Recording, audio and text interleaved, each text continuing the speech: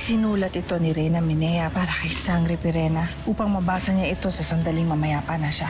Ako na lamang ang magdadala nito sa kanya. Siguro naman ay may binilin siya, di ba? Wala, Pirena.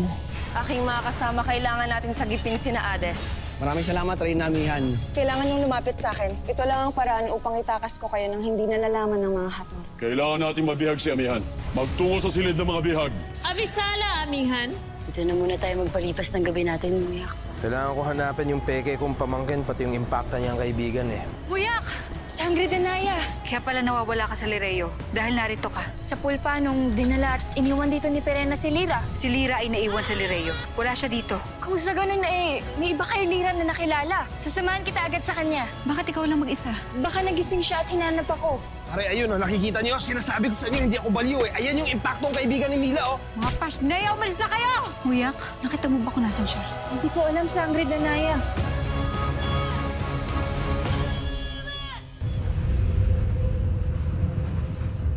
At sa akala niyo ba ay matatakasan niyo kami?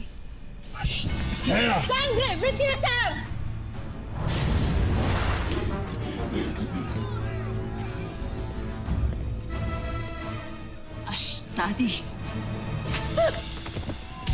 Nang dahil sa iyo ay naitakas ni Amihan ang mga ibang bihag!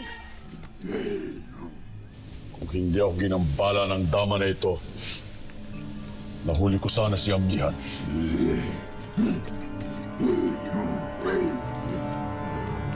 Bakit hindi man lang nagsabi si Amihan na alis siya? Kailangan natin sundan si Reyna Amihan. Kaya handaan niyo na mga armas ninyo. Hali kayo. Dali. Mahal na Reyna. Hali kayo, bilis. Tuloy kayo. Tuloy kayo. Naiwan pa sina Ades sa Lireo. Kailangan ko silang balikan. Saan ka paroroon? Sa mata Ibaro, kailangan kong humingi ng payo sa kanya. Hayaan ninyo na samahan namin kayo. Ikinatutuwa ko na nakatakas siya muli dahil nangangahulugan na may pag-asang makalaya ang Lireo sa inyong mga kamay. Ikinararangal ko si Amihan. Ang tunay at nag-iisang reyna ng mga diwata!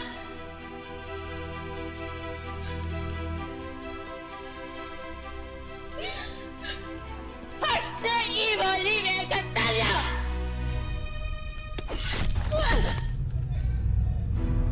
Tingnan natin kung magagalak ka pa rin habang nakikita kong unti-unti kang nawawala ng buhay, Ades.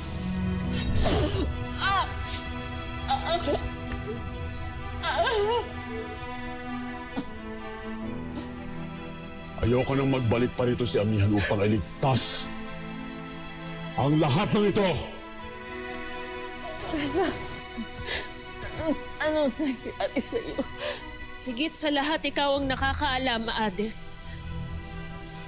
Na ni minsan ay hindi ako minahal ng aking ina. Wala na bang halaga sa'yo? Ang huling liham ng iyong ina. Liham? Anong liham? Ades, anong liham?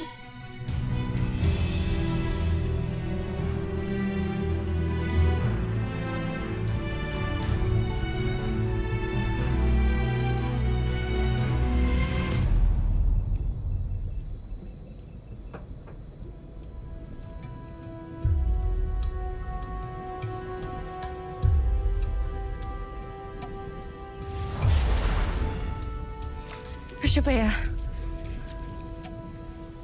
kailangan ko ang iyong tulong.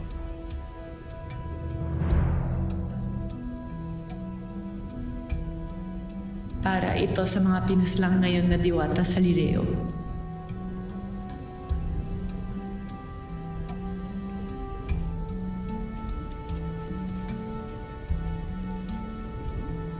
Mga pinaslang na diwata. Ago eh. 50.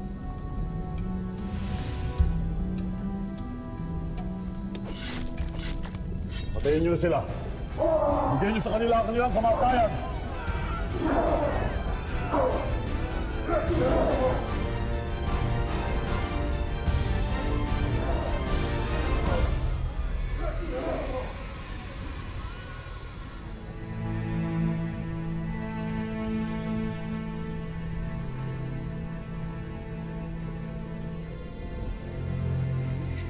Mahal na Emre. Bakit mo ipinahintulot na mangyari to? Simula pa lamang ito ng mga kahindik-hindik na mangyayari dito sa Encantadia Amihan.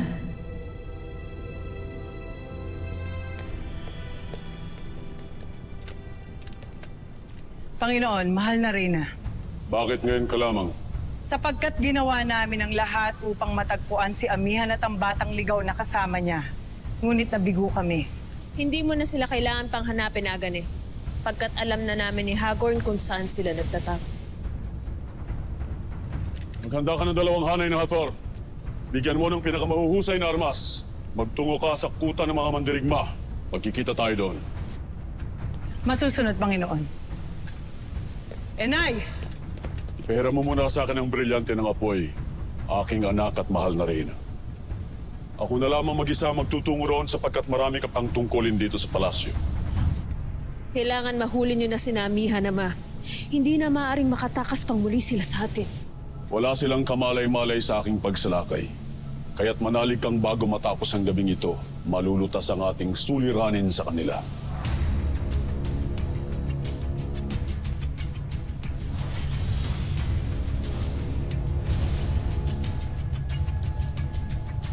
Ngayon pa lamang nagsisimulang malupit at walang awang pamumuno ni na Hagorn at Pirena.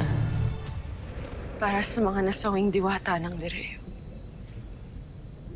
Patawarin niyo ang inyong reyna na wala akong nagawa para iligtas kayo. Ngunit nangangako ako.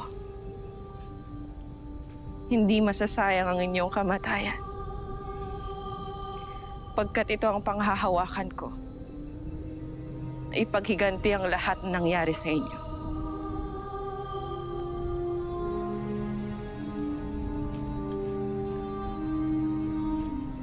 Tayo na mahal na Reyna. Magbalik na tayo sa Mama Dirigma. May ibig pa akong malaman kay Cassiopeia. Iwan niyo muna kami.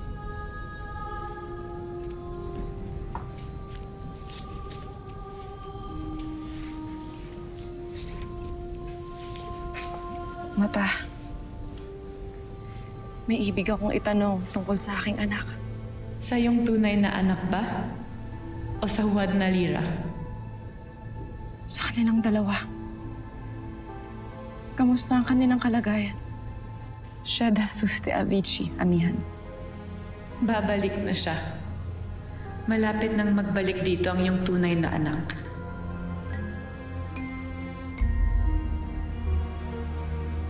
Cassiopeia, ano ang ibig mong sabihin? Cassiopeia, nasaan ang aking anak?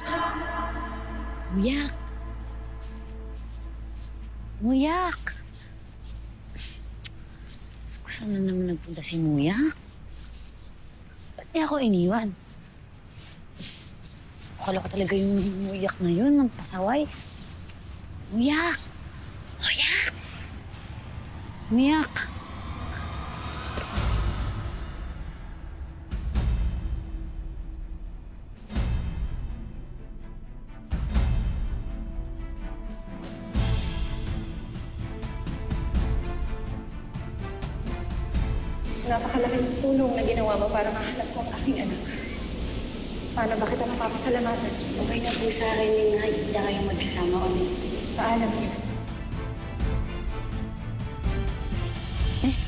Namumukhaan kita. Eh, hindi ba ikaw yung nawawalang anak ng magandang babae dati? Si Amihan ba ang tinutukoy mo? Amihan ang pangalan niya? Oo. Ngunit, hindi siya ang tunay kong ina. Dahil ako ay isang huwad, isang walang silbing diwata na ginamit lamang ng aking tunay na ina para lokohin si Amihan. Diwata? Walang saysay ang mga bagay na ito, kaya paumanhin. Antiks teka, miss. Isa kang diwata? Galing ka ba ng Encantadia? Bakit alam mo ang tungkol sa Encantadia? Dahil gaya mo, galing din ako doon.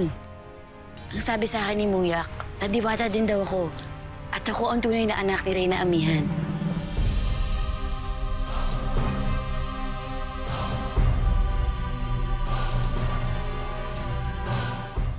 Isa kang diwata? Yun ang sabi ni Muyak. Pero teka lang, ikaw, totoo bang diwata ka? At galing ka nga ng Encantadia? Oo. Totoo ang lahat ng mga sinabi ko. E di kung ganun, magkalahi pala tayo. Kung siniswerte ako, yung amihan na sinasabi mo, baka yung, baka siya yung tunay kong ina. Ang sabi ni Muyak, eh anak daw ako ng reyna ng mga diwata. Pero dinukot ako ni Perena at dinala dito sa mundo ng mga tao. Hindi ko nakikilala ang muyak na binabanggit mo. Isa siyang lambana. Halika sundan mo ko. Bumalik tayo sa simbahan at baka nandun na siya. Papakilala kita sa kanya.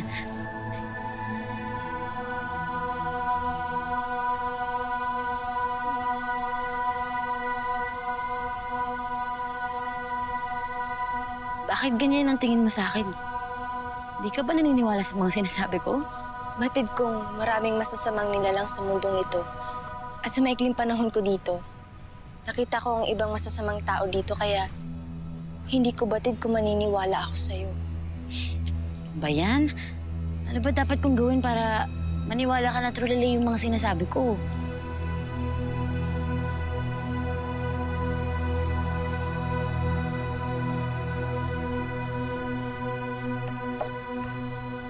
Kung tunay kang ang diwata, malalaman ko.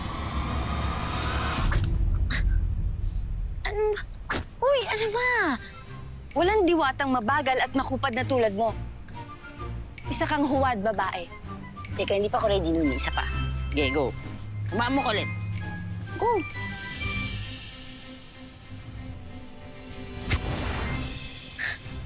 Oh. Nagdududa ka pa ba? Na.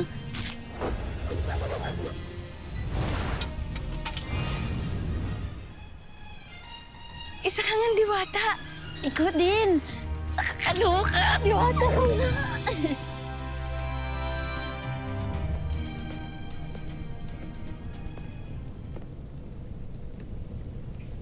Nakita kong umalis si Hagorn kanina. Kasama ng marami niyang mga ator. Mayroon silang mahalagang pinuntahan. Bakit narito ka pa? Bakit mahal na Reyna?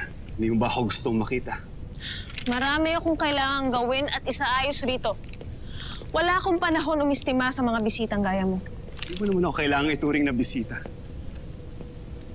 Kung magiging maamo ka lamang sa akin, natitiya ko mapapakinabangan mo ako. At ano naman ang kakailanganin ko sa'yo sa piriyang walang kaharian?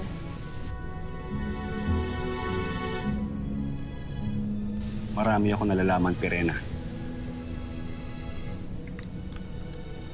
Reynang ng agaw ng kapangyarihan ng iba. Bakit ka nagagalit? Hindi ba't ikaw ang nauna ng lait? Ngayon, kung gusto mo kong paslangin, bakit hindi mo gawin? Wala akong panahon para sa'yo. Hindi kita kailangan dito.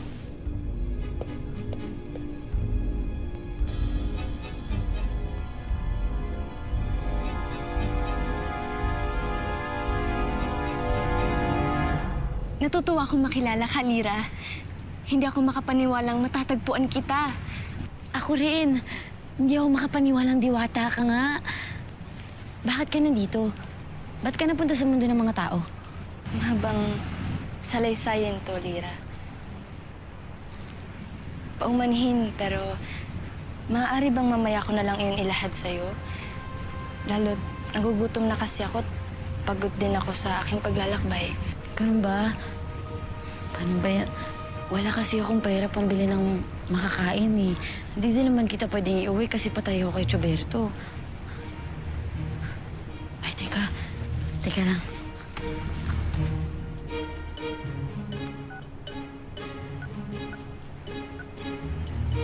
Ano ang kagamitang iyan? Cellphone to. Teka ha. Kailangan ko tawagan si Anthony para manghingi tayo ng tulong. Anthony? Anthony? Oh, teka lang. Hello, Anthony? Ah, pasensya ka na, ha? Pero emergency lang kasi to eh. Pwede mo ba kaming masundo dito? Hindi ka magiging Reyna. Kakalimutan mo ang Encantadia dahil sa isang mula sa ibang mundo. Aranto Yagamya Ilamer Dema de Promo. May tutulong na sa atin.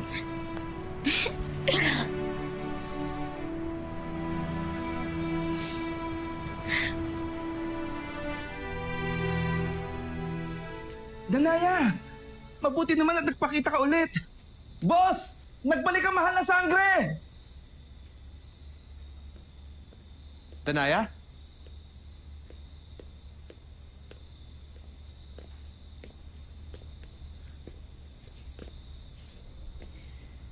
Kailangan ko ng tulong mo upang ipaliwanag sa akin ito. Galing ito sa isang... Mulawin. Na tumulong sa akin kanina. Iniligtas niya ako laban sa mga taong gustong manakit sa amin ni Muyak. Muyak? Sino si Muyak? Yung lambanang kakilala ko. Ngunit bakit may mga mulawin dito? Hindi lang sa Encantadia ay mayroong mulawin Danaya. Marami sa kanila ay naninirahan na dito. Doon sa isang malayong bundok na kung tawagin ay Avila. Avila. Mapalad ka nagpakita siya sa iyo. Dahil ang mulawin ay mailap. Paano kung muli siyang makikita? S- sandali lang, Danaya. Napansin ko lang, ha? Bakit interesado ko dun sa mulawin yun? Type mo, no? No? Type? Oo, type yung... Mwah! Mwah! Ooh, yay! Ano? Study. May iba ako napupusuan na nandun sa Encantadia. Okay, fine! Ihanda ka lang yung hapunan natin. See you later. Hindi ko alam kung bakit. Ngunit malakas ang kutob ko na malaki ang maitutulong sa akin ng mulawin na ito. Kaya, tulungan mo ako. Sabihin mo sa akin kung paano ko muli siyang makikita. Sandali lang at may kukunin lang ako sa aking silid.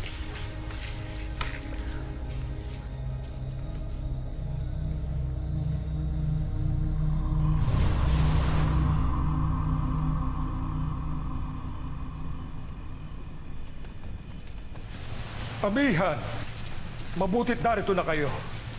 Ano ang nangyari sa pakikipagkita nyo kay Cassiopeia?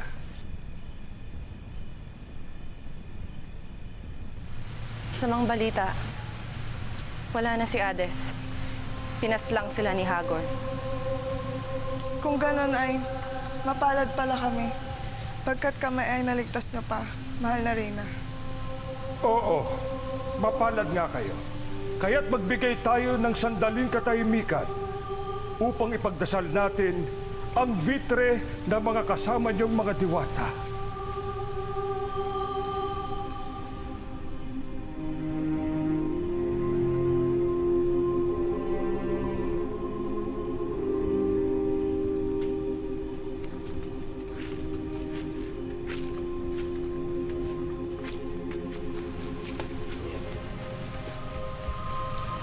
Ibarra?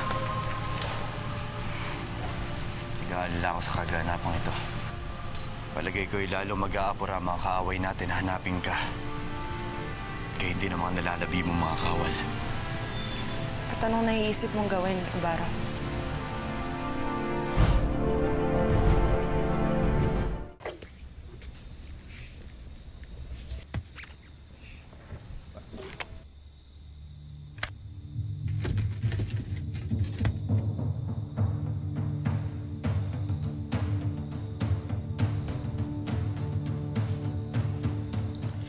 Ang mga mulawin ay sumasagot sa plautang ito. Kaya kung gusto mo sila makita, patugtugin mo to.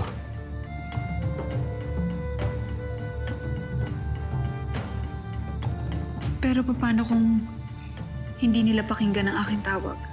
Hindi nila maaaring gawin yun. Kahit ayaw nila, kailangan nila sundan ang tunog ng plautang ito. Sa'yo na yan. Salamat. Napakabuti mo. Sana nga ay magamit ko ito at ang mulawin na yun upang makabalik kami ng tunay na anak ni Amihan sa Encantadia.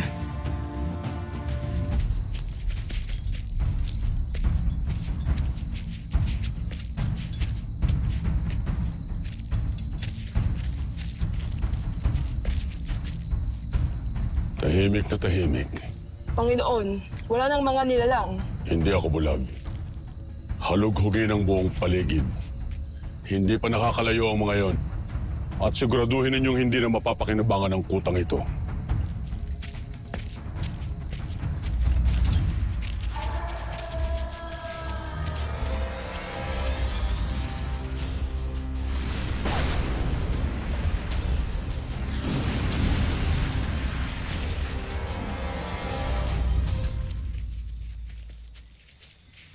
Tignan mo yung kinahantungan ng aming lahat.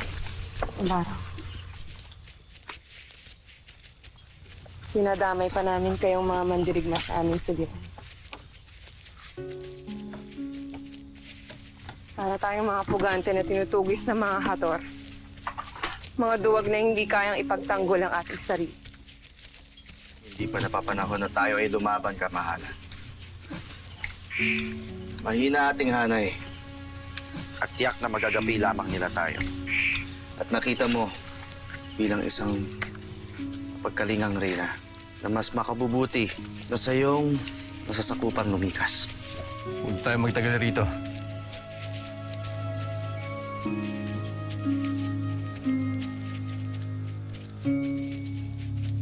Prinsipe Ibrahim, maaari bang malaman kung saan tayo patungo? Sa isang kaibigan na nakasisigurado ako na maasahan Salamat muli sa regalo mo. Walang anuman. Hanggat kaya ko, ibibigay ko ang kahilingan mo. Bakit ganito ka? Bakit napakabait mo sa akin? Hindi ko na kailangan sagutin yun. Ika, kain na tayo. Hindi na ako maaaring magtagal. Pagkat magkikita kami ni Muyak, alam ko na rin na narito ang anak ni Amihan. Kaya't kailangan ko silang balikan. Paumanhin ngunit kailangan ko nang umalis. Mag-iingat ka. Sa pool nung tinulungan mo ko, may isang bagay kang hindi sinasabi sa akin. Ang iyong pangalan. Maaari ko bang malaman ng iyong ngalan? Nang sa ganun ay tuluyan ko na makilala ang aking dapat pasalamatan. Ako si Inuwo. Ino? Yan ang ngalan mo? Inuo? Iyan ang pangalan ng aming ama? Oo, Danaya. Ibinigay siya ni Emre sa iyong ina bilang pagtanaw ng utang na loob dito. Dahil iniligtas niya ang iyong kapatid na si Amihan. Wala na sa Encantadia si Inuo. Hindi ko na rin alam kung saan siya naninirahan. Hindi na bali, Ades. Ang mahalaga ay batid na namin ang ngalan ng aming ama. Inuwa din ang pangalan ng aking ama. Alam ko. Ikaw ba siya? Ikaw ba ang ama namin ni Alena? Ako ang iyong ado.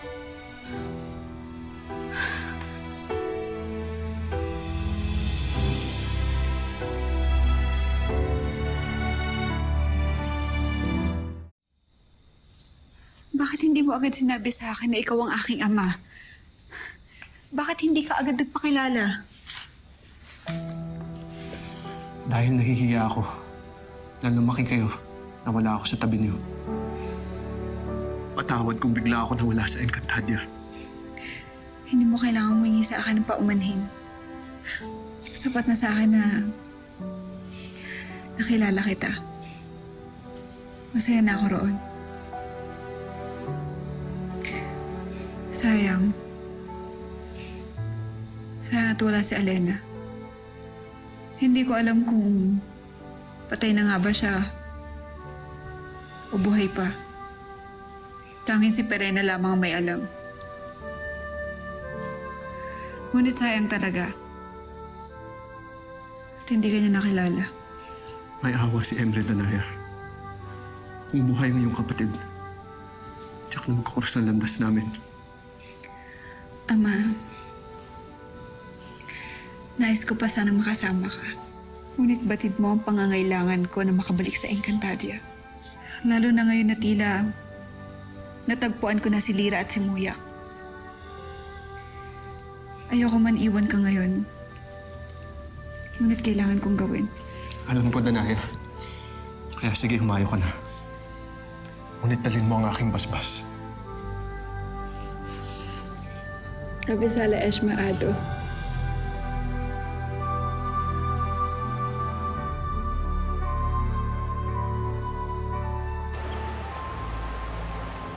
Hindi na namin naabutan ng mga Vidalhe sa kanilang mga kuta. Mukhang natunogan nila ang aming pagdating. Kaya lumikas agad ang mga Fasneya. Hanggat nakakalaya sila ay makakaipon sila ng lakas upang tayo ay kalabanin.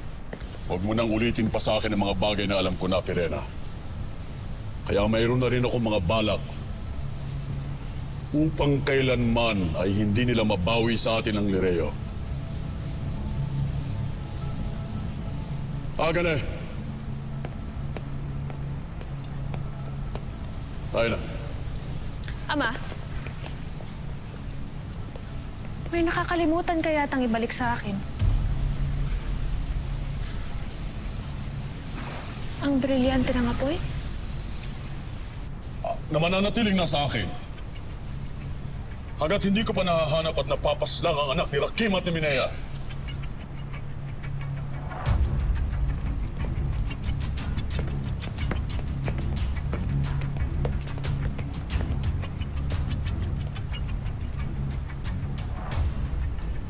Batid mong higit na tapat ako sa'yo, Pirena, kaysa sa iba. May pahintulutan mo akong sabihin ito sa'yo. Hindi mo dapat pinaubaya kay Hagorn ang brilyante ng apoy. Sheda, Gorna. Ama ko pa rin si Hagorn kaya't wala kang karapatan na pagdudahan siya. Hindi nangangahulog ang kadugo mo siya kaya magbubuo ang tiwala mo sa kanya. Tandaan mo, ina mo rin si Minea, ngunit anong ginawa niya laban sa'yo?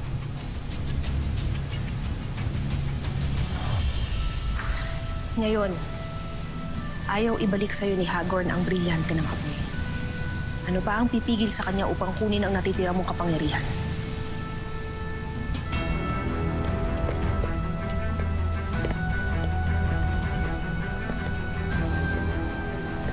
Tandaan mo, halos lahat ng mga kawal na nakapalibot sa atin ay mga hator na mas tapat kay Hagorn kaysa sa'yo.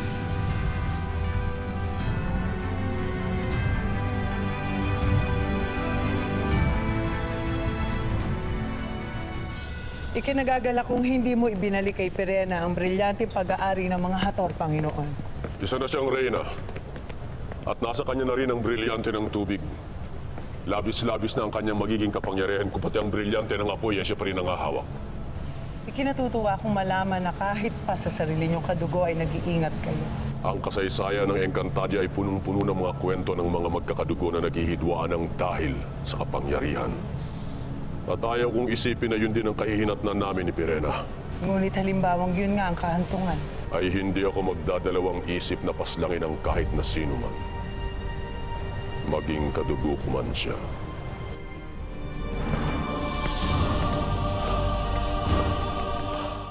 Bakit tila dala mo ang buong mamamayan nito? Paumanhin, Ginoo. Pagkat tinala kami dito ni Ibarra upang makahanap ng kanlungan. Pagka tinutugis sila ng mga hator at wala na silang iba pang matutuluyan pa. Kaya dito mo sila dinala? Ibaro, baka nakakaligtaan mo. Ang aming ngalan ay mga barbaro, hindi mga tagapagligtas.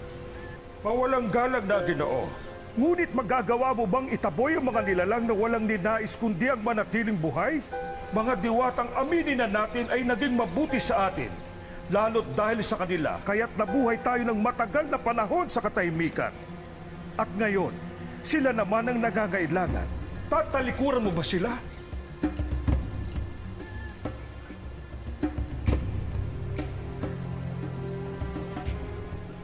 Hikaros, Ano rin ilan nga ulit ang bilang ng mga kawal diwata na nasa ilalim ng iyong pamumuno?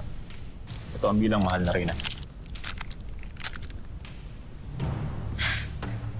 Napakababa ng iyong bilang upang pangalagaan ako paano nyo ko ipagtatanggol sa aking mga kaaway yung magiging kalaban kung kakaunti lamang kayo?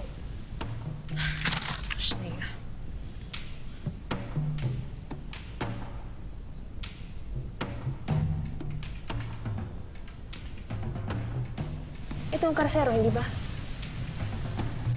Oo, yun ang karsero, mahal na rin. Ang kulungan ng mga nagkakasalang diwata. Nais nice kong dalin mo ko dito. Patid ko na kung saan ako makakakuha ng mga karagdagang diwata na makakasama ko laban kay Amihan.